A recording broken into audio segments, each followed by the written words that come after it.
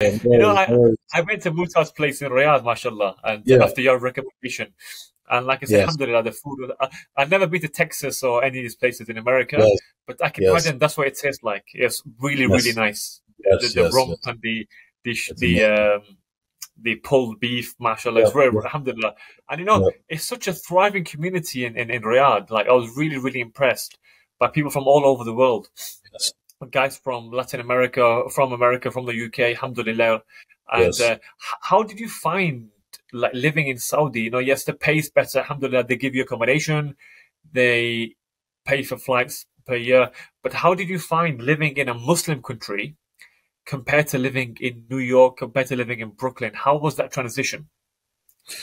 Yeah, you know, honestly, it wasn't. It wasn't as um, challenging in many ways as I thought it was going to be. I honestly didn't know what to expect um, in Saudi. Before I went, I thought it was, you know, really just desert and camels, and you know, I mean, I knew that they had money, um, but I didn't know like what the society was set up. I, and when I went there, I was shocked at how modern it is. I mean, you know, yeah. state of the art highways and just, you know, city systems and stuff like that. All the restaurants, there's restaurants that I discovered in America that I didn't even, I mean, that I discovered there that I didn't even know were from America. You know, I mean, it was, it was crazy, you know, how much, um, and, you know, and the relationship between Saudi and America, although it's probably soured now, but at that time, I mean, the relationship is so strong.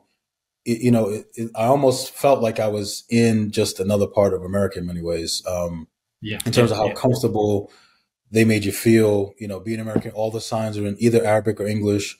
So um, there was no, you know, different, you know, no difficulty in sort of navigating and things like that. Um, uh-huh. um, Dammam, in terms of the people, the people are a lot nicer. Um, in Riyadh, not as much. I mean, it's still nice people, but it's a bit more tribal. You got to understand too that you know um, the East Coast is close to the beach, right? Uh, it's close to the water, and generally, Jeddah the same way. Generally, people like that have sort of more laid back um, yeah. uh, demeanors and you know things like that, uh, dispositions.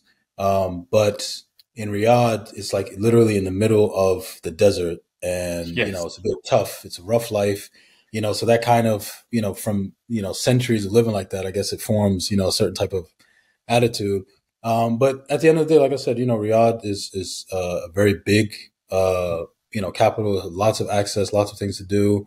Um, I was able to study with uh, you know a lot of uh, you know scholars there, um, yeah. and yeah, I mean, and and in general, um, you know, Saudis when they really take to you, I mean, they really lay out the red carpet for you. Um, so I've met yeah.